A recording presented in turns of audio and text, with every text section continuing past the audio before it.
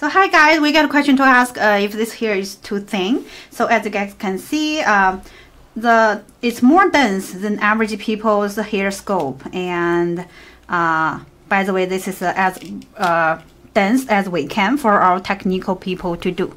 And thank you so much.